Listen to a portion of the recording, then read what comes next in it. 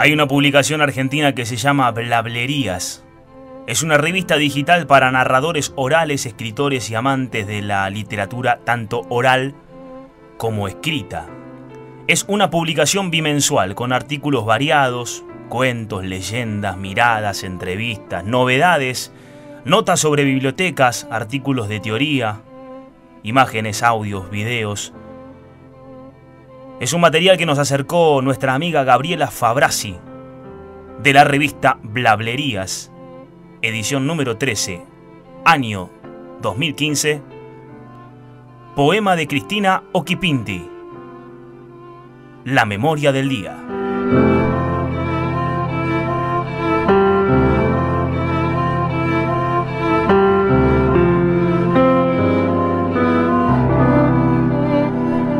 Me gusta la memoria que recuerda los recuerdos que me gustan y la memoria que recuerda los recuerdos que no me gustan.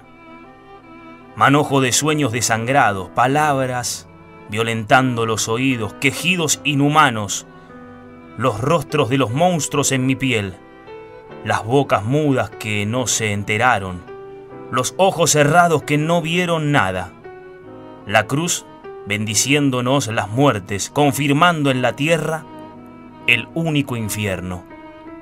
Y la pena, siempre la pena.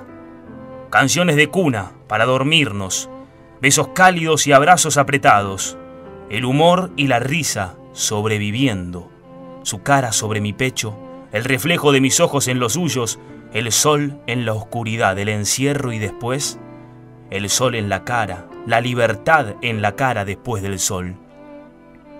Me gusta la memoria que recuerda los recuerdos que me gustan.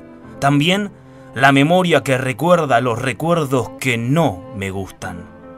Es parte de la vida, de la memoria colectiva, compartida. Recuerdos del mundo pretendido presentes en la lucha de cada día. Que dormiten pero atentos. La memoria olvidada repite los horrores.